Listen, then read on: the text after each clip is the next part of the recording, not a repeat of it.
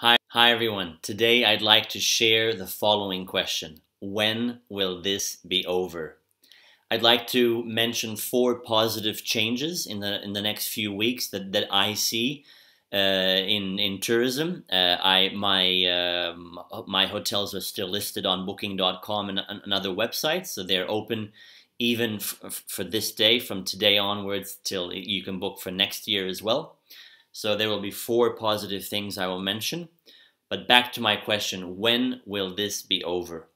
So um, I do miss cinemas. I do miss the thermal spas. I, I must admit, um, but I'm trying my best not to allow outside and external circumstances uh, influence my my day to day, influence the way I'm happy, the way I live my life, the way I fill my days with a warm and loving heart.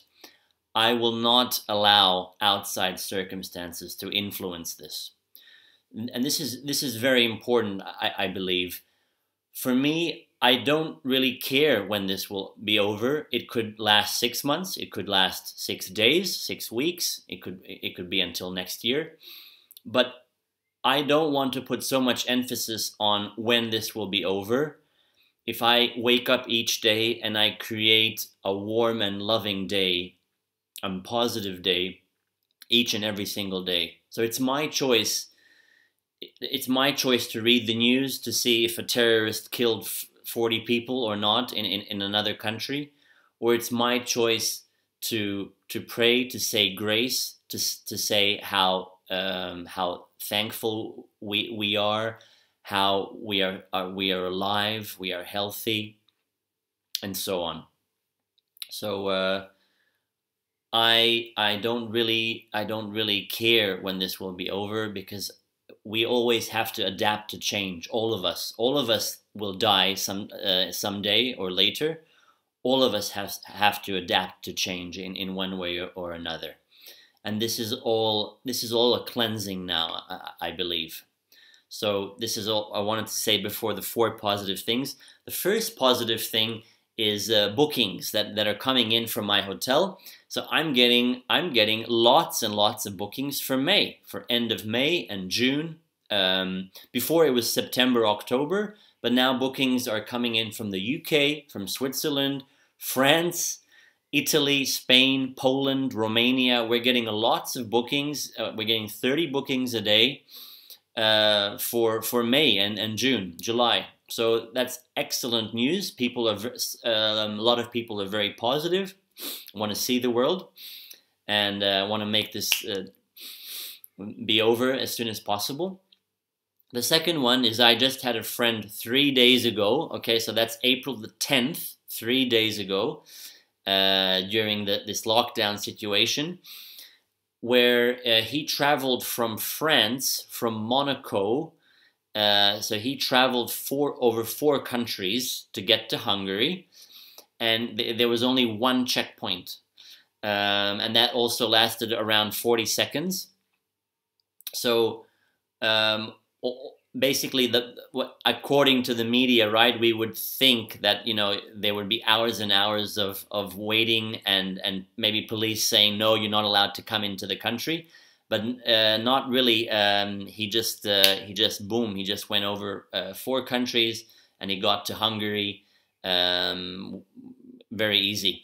So the borders are open. Uh, it's not true that the borders are locked down and nobody in, nobody out. That's not really true because the second thing, um, the second positive thing, or the third positive thing, is that there are thousands of people day by day uh, traveling most of them, okay, 90% of them are traveling to, to, to transport food. Obviously, the, the avocados and the mangoes that we eat uh, and in the stores, the, those are not grown in, in Austria, Hungary, or Germany. They have to come from somewhere. Okay, so there are planes, people are traveling. Uh, there are people, uh, there are thousands of people crossing the borders every day, and there and those truck drivers those doctors, those bankers, uh, those people in uh, pharmacy, pharmaceuticals, they're they're staying at hotels, uh, so they are traveling. There is tourism. It's minimal. Obviously, it's it's very minimal, but there is tourism. Um, so that's that's one thing which the media doesn't really talk about. There are also people with two passports, with dual citizenship. There they can travel if they want. So um, people could say if someone with let's say a German and a Spanish passport, they could say, "Oh yeah, I have family in Spain. I have to go to Spain." And then after a week from Spain, they can you know they can go back to Germany. So there are um, the, people with two passports can travel easier now these days. Um, the the fourth one is fear. So um, what I see now is that people who are um, more open to go out and, and go for walks in the forest and, and go running, go uh, bike riding, they also meet with other um, uh, like-minded people. So uh, people who are open with going out, they they meet with other like-minded. So like-minded minds attract each other. So this this is a this is a very I I also uh, met a lot of people now who are more open and, and like-minded to me. So I, I, I really appreciate that. I, I really appreciate every day that, that I that I have. Also the the ones at the top are very scared of the people who are not afraid now. So they they want us to be afraid. They want us to stay at home. They want us to be in in our houses full time and be able to check what we're doing online, what we're ordering, what we're buying, what kind of videos we're watching, what we're posting. They they see everything. Uh, I will not allow anyone to create fear in, in my mind. I, I, I will not allow it. So these these these this is these are the external circumstances I was talking about. I, I will not allow this.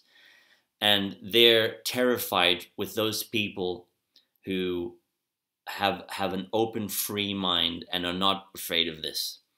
And because there are two things people do. anything that we do that, that humans do are based on two things. Either we do it out of love or we do it out of fear. So that is why I, I try to, to have more and more love in my heart and in my day to day things. That is why I do not really care how long this goes on for. I, I, I don't really care. I'm, I'm, I'm having a great time.